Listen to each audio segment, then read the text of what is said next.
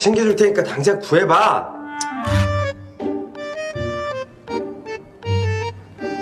야 잠깐만. 왜?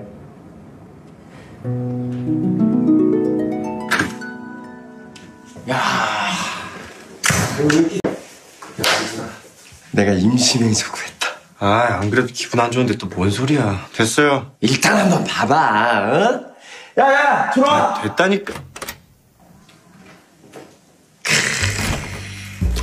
야, 얘가 임신면서 한번 꼭 한번 하고 싶다고 해서 데리고 왔는데, 야, 지금 멘탈이 아주 셀 것 같아. 어때? 임시를 데리고 다니면 하지. 당신 뭐야? 당신이 왜 여기 있어?